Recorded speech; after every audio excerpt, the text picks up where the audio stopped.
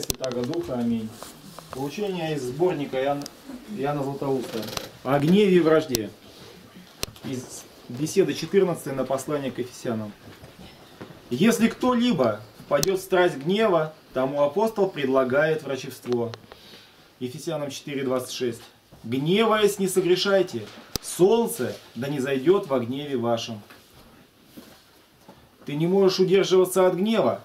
Гнева сейчас, два, три, но да не зайдет солнце, оставив нас врагами. Оно по благодати Божией взошло, да не зайдет же, сиявши на недостойных.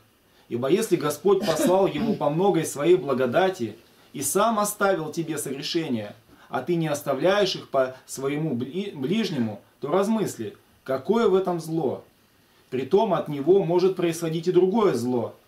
Апостол опасается, чтобы ночь, захватившая в уединении человека, потерпевшего обиду и еще пламенеющего гневом, не разожгла сего огня еще более. Днем, пока еще многое раздражает тебя, тебе позволительно дать в себе место гневу, но когда наступает вечер, примирись и погаси возникшее зло.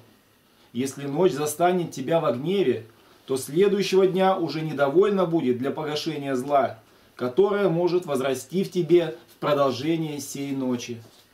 Если даже большую часть ее, его ты уничтожишь, то не в состоянии будешь уничтожить всего. И в следующую ночь дашь возможность более усилиться оставшемуся злу. Как солнце, если дневной теплоты его недовольно бывает для осушения и очищения воздуха, наполнившегося облаками и испарениями в продолжении ночи, дает этим повод быть грозе. Когда ночь, захватившая остаток этих паров, прибавляет к ним еще новые испарения, так точно бывает и в гневе. Стих 27 и не давайте место дьяволу. Итак, враждовать друг против друга значит давать место дьяволу. Ибо тогда, как должно нам соединиться вместе, ибо тогда, как должно нам соединиться вместе и восстать против него, мы, оставивши вражду против него, позволяем себе обратиться друг на друга. Подлинно, ничто так не способствует дьяволу находить место среди нас, как вражда.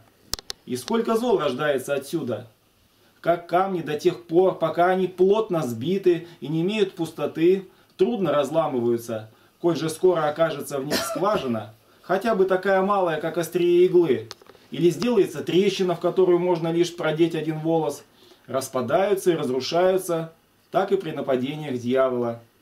Пока мы будем тесно соединены и сближены между собой, тогда он не может вести ни одного из своих наветов. Но когда хотя бы немного он разделит нас, тогда вторгается к нам подобно бурной волне. Везде ему нужно только начало.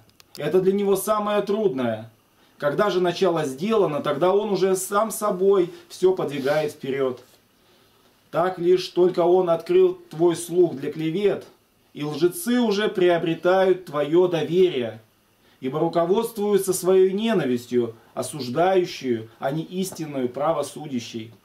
Ибо когда во время дружбы даже справедливым нехорошим слухам не хочется верить, так при вражде напротив и ложные слухи принимаются за истину.